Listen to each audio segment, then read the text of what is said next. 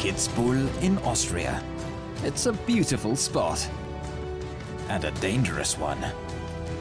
The legendary Streif, probably the most difficult course on the professional downhill skiing circuit.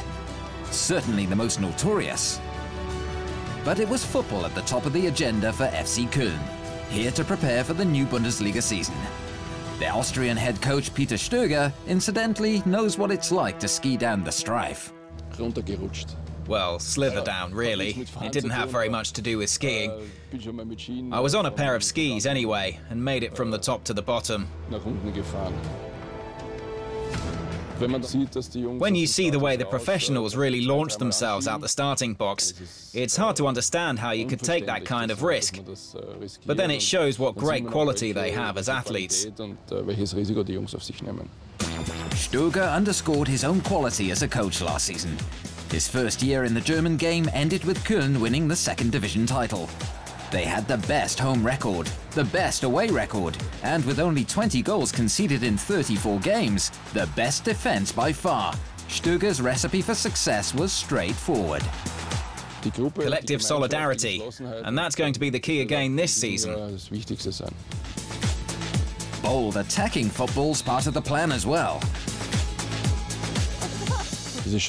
Es ist schon so, dass wir in die Spiele reingehen wollen und nicht We don't want to go into games with an attitude of how are we're going to avoid defeat. wie können wir jetzt ein Spiel nicht We'll be looking to carve out chances of our own, to hurt opponents and win the game. da oder dort mal als Under- Underdog. Regardless of whether or not we're the underdogs. sind unsere Möglichkeiten, dass wir dem Gegner wehtun können, dass wir Spiele gewinnen. The step up to the Bundesliga will call for further tactical adjustments. We'll be up against better teams, so we'll have to defend more than last season.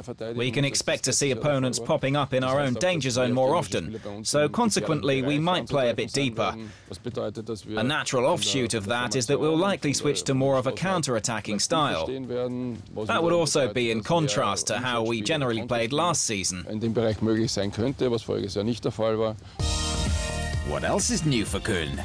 On the defensive front, they've signed Mergim Mavraj from Fürth, holding midfielder Kevin Vogt from Augsburg, Czech prospect Thomas Kalas on loan from Chelsea, and Polish right-sided all-rounder Pawel Olkowski. In den Möglichkeiten, die uns zur Verfügung stehen, glaube ich, haben wir uns As far as possible, we've strengthened the squad very well. We've brought in the players we need and really done a lot to beef up the attack. Im haben wir auch deswegen wirklich viel unternommen. Yuya Osako signed from 1860 München, and Simon Zoller, formerly of Kaiserslautern, two of the second division's standout forwards last season. Weil wir der We believe that we can make a positive impact on the Bundesliga, which means winning games. wenn wir Spiele The basic concept we're working from will be to try and create scoring opportunities and play to win.